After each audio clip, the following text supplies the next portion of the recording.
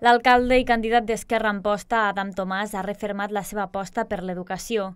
Així, Tomàs ha recordat que s'han iniciat els tràmits per la construcció d'una nova llar d'infants municipal al barri de les Quintanes amb més de 50 places. També ha destacat les obres de l'antic Col·legi de les Monges per situar-hi l'Escola d'Art i Disseny amb una inversió de 4 milions i mig d'euros, dels quals 3 milions es financen a través dels pressupostos generals de l'Estat. El candidat republicà també ha anunciat nous estudis universitaris de psicologia a Euses Amposta Amposta. D'altra banda, Tomàs ha respost al candidat de Junts, Manel Ferrer, després que afirmés que el govern d'Esquerra no té un full de ruta definit. Tomàs ha atribuït aquestes declaracions al desconeixement de Ferrer de la tasca realitzada a la ciutat en els darrers vuit anys. El candidat de Junts fa vuit anys que no està en posta en política municipal i per tant entenc que és normal que durant aquests vuit anys no sàpiga què és el que ha passat per les comissions informatives de l'Ajuntament o per les juntes de portaveus.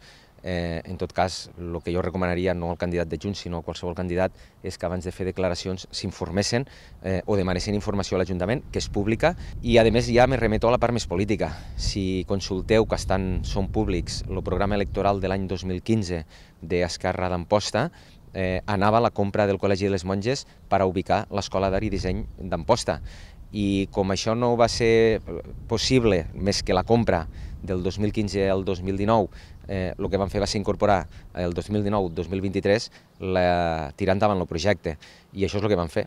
Per tant, si l'Estat ens va donar una subvenció de 3 milions d'euros és perquè li vam ensenyar un projecte que teníem redactat en el moment que vam comprar el Col·legi de les Monges.